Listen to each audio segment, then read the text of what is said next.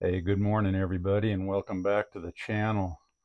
Well, today I wanted to have a little discussion with you guys uh, about my greatest fear of living on uh, solar energy and supplying your own power. And I've been talking with you guys, answering comments this morning. And by the way, it's Saturday morning. I hope you're all having a good weekend. Um, And the greatest fear I have is lightning. Uh, and I've had a lot of lightning uh, in my experience living off grid. And I'm just sitting here reading the from the National Weather Service how powerful is lightning. And it says a typical lightning flash is about 300 million volts and about 30,000 amps in comparison to your household current, which is 120 volts and 15 amps. So it's a lot of power. Now, when I was first living off grid up in the Colorado mountains, like I've uh, shared with a lot of you guys, uh, I took a lot of lightning hits up there. For the majority of my time living there, I was uh, on an ungrounded system and I talked back and forth with my solar provider back then about the pros and cons of whether I should be grounded or ungrounded. and there was some controversy on which was best there. Uh, some people, you know, suggested let's put a lightning rod in. Uh, I was surrounded by lightning rods with all of the trees around my cabin, and they were all mostly striped from top to bottom from lightning strikes they had taken over the years. And I took a lot of direct hits and uh, around me and I actually took a direct hit on my cabin.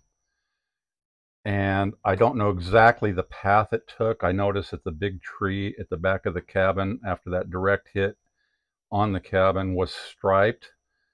And I believe it went from that tree to a hot water heater vent that was coming out of the wall. And it blew a hole through my cabin wall about the size of my fist, just about that big. Blew a hole through uh, T111 on the outside and inside, and and uh, grounded on a wood stove that I was sitting about three feet away from. And it looked like the wood stove had been welded with a big old welding mark where that lightning had actually grounded on the wood stove. I saw the lightning storm coming. Uh, it, it, was just dancing coming up the hill and just unstoppable lightning bolts. So I anticipated I was going to get hit. I was nervous. I went and disconnected everything. Um, and when that happened, uh, it was so loud of an explosion. It, it, it affected my hearing for days. Um, it was terrifying. That system was grounded. And my L16 batteries, I was running six L16 batteries. They didn't stop making noise for about a week. Completely disconnected. A lot of the stuff that was completely disconnected from the EMP was fried. Charge controller fried. Uh, TVs that were completely unplugged from everything fried radios fried, and that was a direct hit. So, like I said, I had been running ungrounded for many, many years. Then I got convinced to go ahead and, and ground the system. So that system was grounded. Um, and before I had taken a lot of nearby hits, uh, I never really suffered any uh, direct damage. I still always unplugged everything possible as I knew lightning was in the area. Uh, I've been knocked off ladders from nearby uh, lightning strikes. I've been knocked to the ground three or four times in my life by lightning. Uh, I've lived in lightning prone areas. I mean, that area up in the mountains was at about 8,300 feet, and it was just a magnet for lightning. Um, so I have a real healthy respect for lightning. Uh, and out here, same thing. I have been taking a direct hit on this place right here. Uh, it, I believe it first struck my metal Conex container and and then went down to the ground to lava. This everything behind me is lava ground. You can't take a pick and and go into this uh, lava at all. Uh, just solid lava, you know, about maybe this much soil on top of the ground behind me. when I took the direct hit here, like I said, it came down, I believe it hit the corner of my container, which is just behind me here, went down into the ground, blew a trench through the lava about that deep, and went over and hit a metal leg on a car port that I had, and that's where it stopped. But it blew a trench 60 feet through the lava, and a foot deep. I was sitting on my bed, scared to death, and it sounded like a million BBs hit the roof, and I knew I'd been hit. And again, I had unplugged everything uh, possible and I suffered a lot of damage that way too. There was a lot of things that were fried that were not plugged in, not connected to anything. I was happy to be alive. And uh, I just couldn't believe it. Anyway, that sound of the BBs, it was the lava rock that was pulverized from solid lava in the trench that was made by the lightning traveling through the ground through just millions of little specks of lava up onto the roof. So, yeah, I've had a I've had a lot of uh, lightning experience, and when that one hit me in the mountains, I was insured. I called my insurance agent. He came out. He looked at everything and and he said, "Well, I think that the insurance company is lucky they're not paying for your funeral."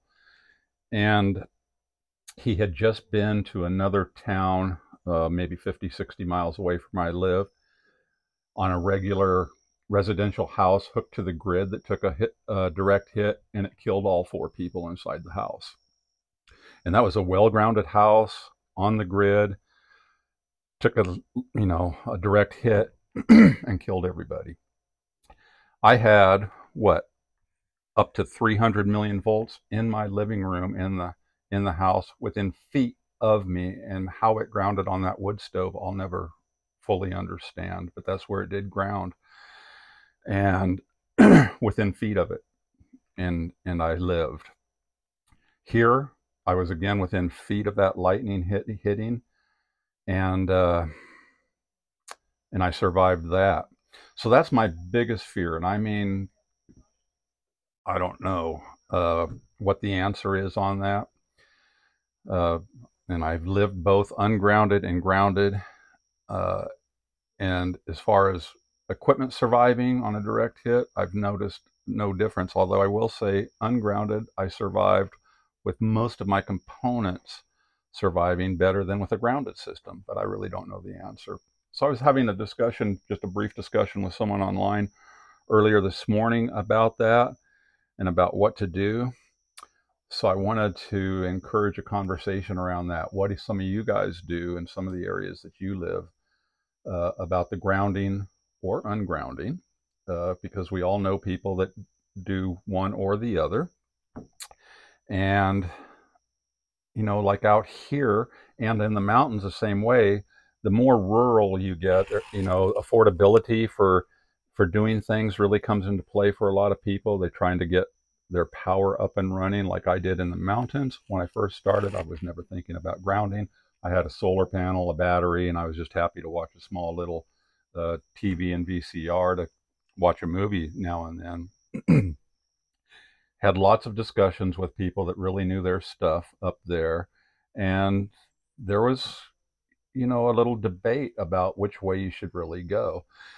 The end result was, uh, and it was from the insurance agent too, who he ran around, you know, to all these claims that were made on lightning damage uh, about the difference too. And he said simply lightning goes wherever it wants to. So I was never keen on putting a lightning rod on my home because I did not want to attract lightning in any kind of a way. I was always close enough as it was. So I just started thinking this would be a good conversation to have and see what everybody says about that because, yeah, I've lived on both and I've suffered uh, the worst damage being grounded as opposed to being ungrounded. So yeah, I'd just love to hear what you guys have to say about this. There's a couple other things I wanted to say about that, and they're eluding me at the moment. Forgetful of this older age. I'll see if I can remember here that here in a minute. I made a couple of notes. Okay, I found what I was going to talk about. But anyway, here's another little thing I'm looking at online, and it says another, you know, there's a question, is all lightning the same voltage? You know, I gave you that one from the National Weather Service, about 300 million volts in a bolt of lightning, 30,000 amps. And then this one says uh, lightning bolts range from 5,000 amps to 200,000 amps. And voltages vary from 40,000 volts to 120,000 volts. So, yeah, that's a lot of energy, regardless of what source you're going to cite. Uh, and you don't want that anywhere near you.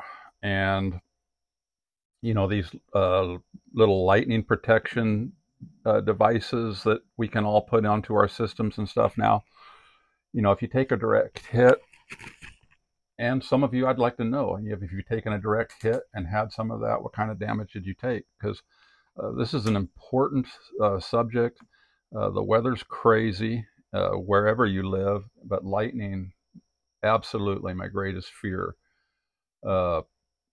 of whether I had solar power or not, it's my greatest fear. Uh, even when I did not have any solar power and I was not living uh, using any power whatsoever, lived off the grid with no power, read books for my entertainment. Those were the olden days, right? Um, yeah, I still think a lot about it. And when I hear it off in the distance, I get nervous. I always do. Uh, I always figure it's coming for me. Uh, even my good friends, uh, when we used to do a lot of golfing on the golf courses, uh, if we saw, if they saw a nearby strike, they knew I was getting nervous, and they got nervous for being around me because of my experience around lightning. So, yeah, I really, really want to hear what you guys have to say about this. Uh, a lot of you are running ungrounded systems. A lot of you are running grounded systems what's been your experience around lightning? Because I've got a lot of experience. Like I said, I've been blown off my feet more times than I can count. Uh, and have a healthy respect for it. So, anyway, let's discuss. all right. Hope you're all safe where you are, having a great weekend. Catch you on the next one. Aloha. Makes me nervous even just talking about that stuff.